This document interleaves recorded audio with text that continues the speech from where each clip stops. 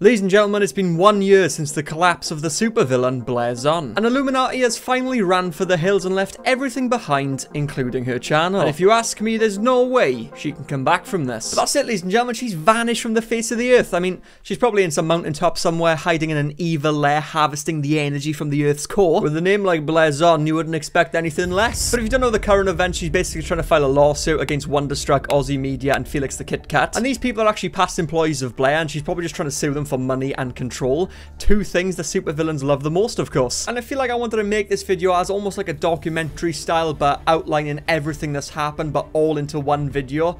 So it's going to be like kind of like an old Curtis Price video. Whee! If you recall, all of this drama erupted when she tagged at a creator known as Legal Eagle for allegedly stealing her editing style, which turned out to be a basic highlight effect. Which, may I remind everyone, is a basic editing technique which has been around way before Blair's YouTube days. Not only were her claims baseless, but her approach lacked any semblance of respect. It almost seemed like her sole enjoyment stemmed from bullying others. However, ladies and gentlemen, it was her ill-advised attempt to flex her power by calling out Legal Eagle which ultimately sealed the fate of her career. This simple, pitiful move exposed her as someone who steals content, a liar, a hypocrite, a manipulator, egotistical, and a downright bully. And I do believe, ladies and gentlemen, that this is a cautionary tale of how arrogance can lead to the demise of someone's career.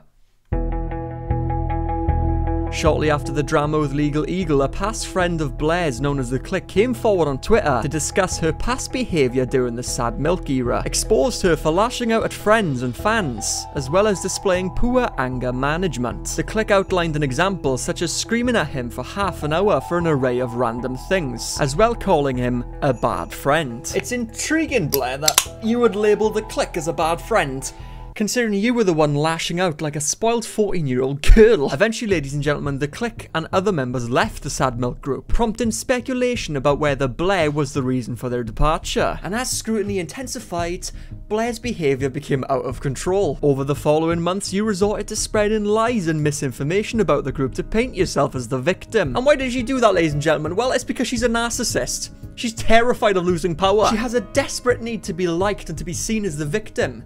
And that's when, ladies and gentlemen, her desperation became evident. The almighty Blair Zon tried to dig up old videos of the Click dating back 11 to 14 years ago, and in the end, you transformed into that one high school bully that everyone knows and hates, leveraging your popularity and using your friend group to intimidate others. As Click had only recently started his own channel, Blair appeared quite intimidating to him, boasting about her connections and powerful friends, causing the Click to feel silenced and constantly looking over his shoulder for the next year. But the matters only took a darker turn from there. Now, this next bit is going to loop back later on in the video. You know I love my loop backs, alright? But she offered a past employee of hers $200 to sit there looking through raw milk raw milk to look through countless videos of Sad Milk's raw audio just to find a clip of the click saying the arsler. But this, ladies and gentlemen, is where the blatant hypocrisy cannot be overlooked. Mm. Her past employee had claimed that Blair herself uses the Arsler in private. So you're there paying somebody $200 to try and dig up dirt on the click saying the Arsler, yet you yourself use the Arsler. Double standards much? And also $200 just to look through some raw footage. Is any uh, jobs opening up at your company? Because I'll I'd be surely interested. However, ladies and gentlemen, it didn't stop there. Ooh, the real Blair Zon. At this point, ladies and gentlemen, many of us started to speculate the true identity behind the iilluminaughtii channel. The question was, ladies and gentlemen, who was the woman behind the mask? I mean, yeah, it was probably some ugly cat, but, but also, it was someone who relishes in using their power to silence others. While she may have presented herself one way online, whether as someone civil or even as an AI-generated character, the reality was far from it. I appreciate your patience and understanding during this challenging time. I am dedicated to upholding my channel's values and delivering on our commitments. I am confident that the truth will prevail. Sincerely, Blair Zon. Of course, she may appear as a calm and collective individual, and also somebody who may have secret plans to take over the entire world. I mean, I am dedicated to delivering on our commitments, and also the truth will prevail. Do you reckon she's one of the Daleks from Doctor Who? Now the Daleks are the masters of Earth. As follows a tweet from Aussie Media. So iilluminaughtii has officially sent me a cease and desist. Best part is she cites parts of my videos which I had no part in, and demands I make a public apology. And then it happened again. Roughly a month had passed without an update on the situation. That was until three days ago when I received a cease and desist letter demanding that legal action would be taken against me if I did not remove my response on Twitter threads. As we can see, she appears to be someone who resorts to lawsuits in an attempt to silence others, contradicting the fair and responsible persona she projects online. And you can tell she was getting desperate and paranoid because she sent a cease and desist letter to Wonderstruck. The guy hadn't even uploaded a YouTube video yet. So, and I think I'm really highlighting the pattern here of her like using cease and desist letters or, or like lawsuits to try and silence people, rather than engaging in a fair and constructive conversation she just uses legal conversations to silence people. Like she's trying to play this victim online as if she's like a fair person, but then behind closed doors, she's having a board meeting with all her lawyers. And they just keep coming. Could just be me, but sending a cease and desist to the one person who is yet to release a video is highly suspicious. We won't be silenced. Now we might be thinking to ourselves, hang on a second now, maybe she's panicking, maybe she's just like never dealt with controversy before, she's never been called out before, so maybe it's just like a moment of panic and she's just throwing cease and desist letters everybody? Well, unfortunately for Blairzon, ladies and gentlemen, she wasn't the only one doing the digging. A video resurfaced from Blair's ex-boyfriend providing evidence that her behaviour wasn't just a momentary panic, but a long-standing pattern of attempting to silence those who challenged her character. In the video, her ex-boyfriend claimed that she had previously tried to dox him, threatened his channel, and even threatened him with a lawsuit. Oh, really? Doesn't sound like my sweetheart Blair. She wouldn't do things like that, would she? Well... Let's find out. I mean, this revelation just further underlines Blair's willingness to go to extreme lengths to maintain her public image, regardless of what it might do to others. You know, she just doesn't give a crap. She only cares about herself narcissist. And he went on to reveal that he had recorded a conversation that he had with Blair, and it actually showed a lot what she was like behind closed doors. Then I asked you a simple yes or no question. Were you talking ill of me to other content creators? I even said I didn't think you were. It was just... The answer is no. no I don't understand. But now it's... dodged it. Now it might change to a yes, because now I'm gonna have to protect my ass. Because you want to come at me sideways. And you know, I do just want to say that it is kind of funny that you accused me of wanting to do it for money and that I didn't really like the content, and then here you are saying that you're bored and trapped by the content you make. I just. It's about the boredom. You ass hat. Look, Blair, I'm not saying that I was angry about the breakup, okay? I'm not. I think that it was good for both of us. What I'm saying is that I was angry about the fact that you were the one who proposed a collaboration. And then as soon as I was ready and put all this effort into it, you just kind of shut me down. And in one night, you just went through so many insecurities and told me streaming wasn't going to work. And then in the same night, also shut down the collaboration, which was something that was supposed to help us both. It just seemed. So it had nothing to do with the fact that I go, oh, I'm moving, I'm busy, I'm doing shit every single day. The only thing you had to ask me is, when are we collabing? When are we collabing? When are we collabing? And it's like, oh, you're treating me like a fan, Blair. I'm like, well, perhaps, Josh, you should have stopped acting like one. Prior to this, he had informed Blair that a doctor was threatening to release his private information. Initially, she claimed she would release a video defending her boyfriend. Aw, that's really nice of you, Blair, but Oh no. In a stunning act of betrayal, ladies and gentlemen, she went back on this promise and instead sided with the doxer. This idiotic and selfish move involved exchanging personal information about her boyfriend. Keeping in mind, though, this guy was a doxer, you know, a very dangerous and unhinged individual. And we have a lot of experience with doxers on this channel, as you know. Lily Jean, got my own personal experience. Quite proud of it, actually. And I feel like this just further reveals how far she was willing to go to protect her image. And if it couldn't get any worse than this, it just did night.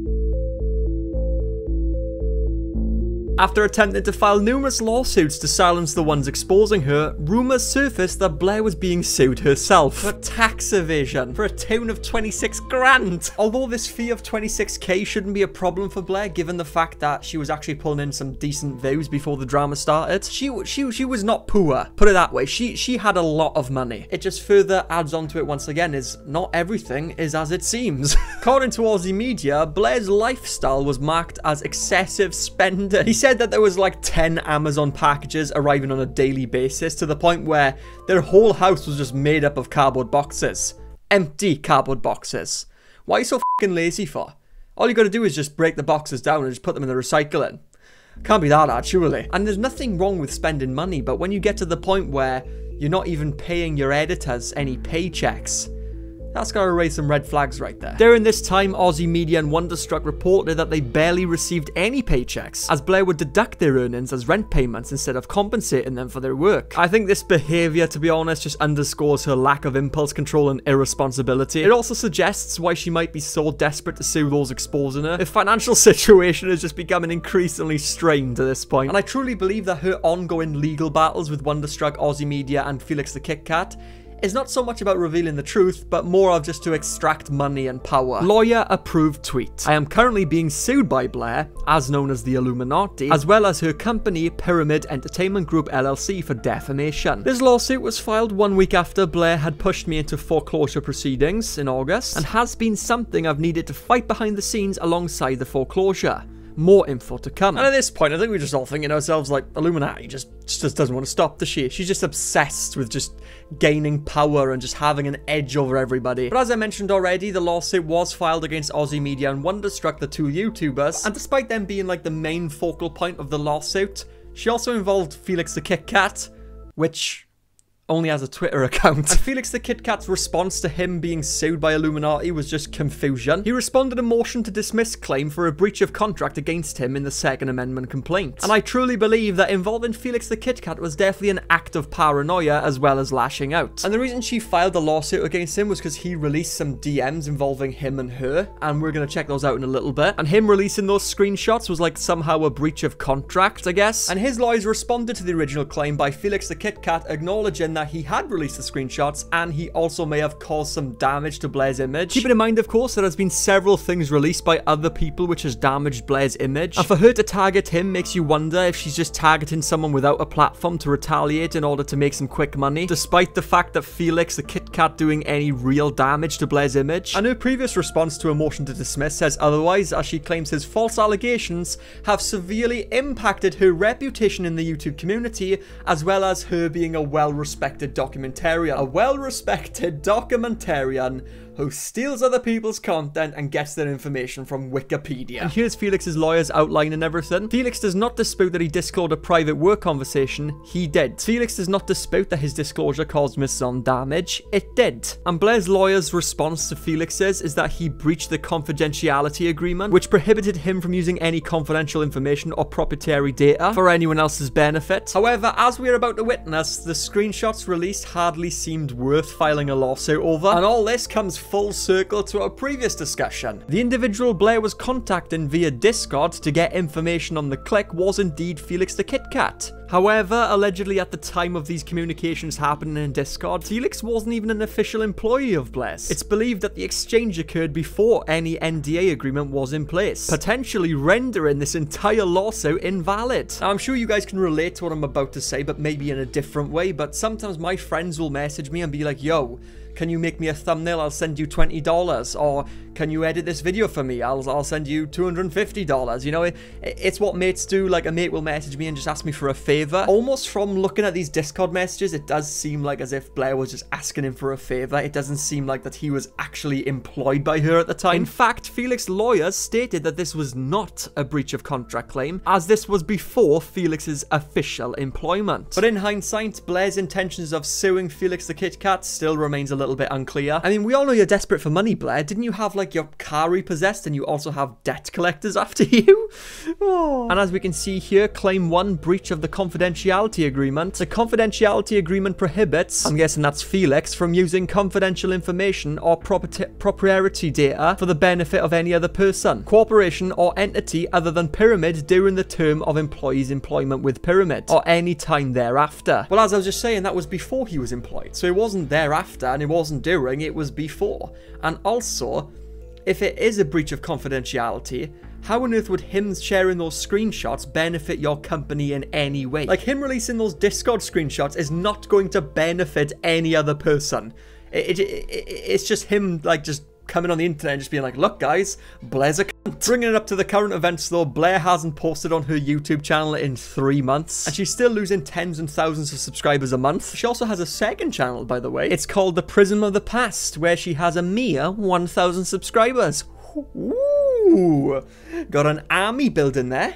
Fucking hell. Honestly, it's very unlikely she's going to make a comeback given everything that's transpired over the last couple of years. She's just virtually absent from the internet. She's just gone. And hopefully it remains that way. And I know this video was a little bit different. Usually I'm a silly sausage in my videos. Okay, this was more documentary style. With that said, check out my other videos where I'm a silly sausage. In this video, I talk about a guy who's pheromone maxing. He don't shower at all. And in this one, I'm talking about uh, Belle Delphine.